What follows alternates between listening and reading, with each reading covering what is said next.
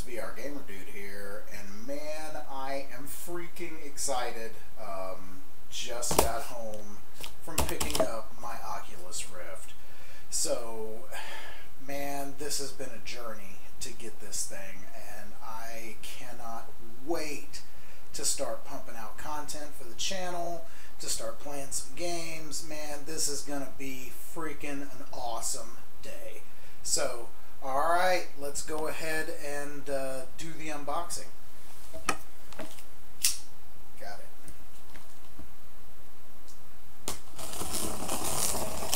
Oh. so long. This. Alright. Ah, there it is.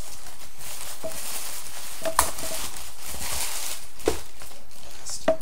Nice spring-loaded rope there. Aha. The Oculus Rift. Finally, the consumer version.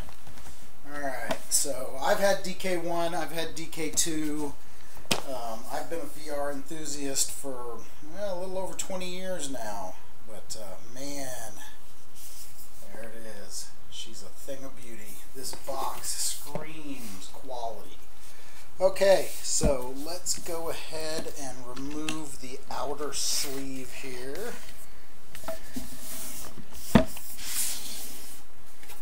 Set that aside. Alright, now we want to make sure we open it with symbol facing up. Apparently that is very important so things do not fall out. And here we go. Oh, yeah. Oh, okay, my remote has become dislodged. So, let's pop that right back where it's supposed to go. So, there you have it. Let's take a closer look here. Man, oh, nice. Oh, that's awesome. It's very thin. Yeah, I've read about that. Okay, so let's go ahead and take a look at the components here. There is the tracking camera, and man, that is light. Uh, I was expecting that base to be a little heavier, but that's alright. So go ahead and set that there.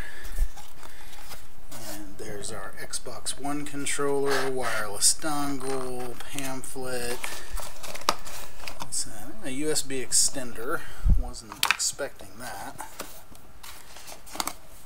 Alright, that feels good. I've been using the Xbox 360 pad for the longest time, so never have done the Xbox One, but looks like it's a nice layout. So, oh, here we go.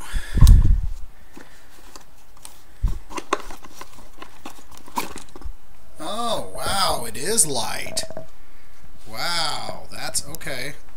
so that's a lot lighter than I thought it would be. Uh, it feels quality. I mean, man, it feels sturdy. So, freaking awesome. That foam is really thin. So, can't wait to get my VR covers for that one.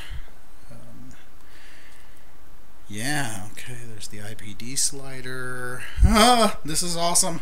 I am so freaking excited. And since it was out of the box, we're going to pop it out there. And then there is the remote. So, wow. It is finally here. We have finally made it to consumer VR. So, retired my DK2 last night. Um, kind of sad moment putting that thing back in the box. It's been a good two year run. But I cannot wait to jump into the CV1. Uh, the, man, like I said, this has been a journey, and I cannot wait to take those next steps with each and every one of you. So, thank you very much for watching my unboxing video. Uh, I will definitely be off for the next three days, uh, so uh, lots of live streaming and uh, game recording to come, guys. So, this is VR Gamer Dude, signing off, y'all. Peace.